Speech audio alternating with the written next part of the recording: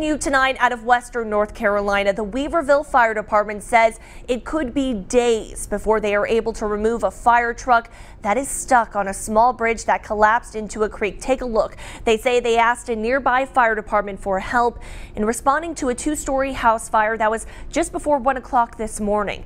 Now the fire truck was crossing a small bridge when that bridge collapsed. Five other trucks are now stuck on the other side of this creek.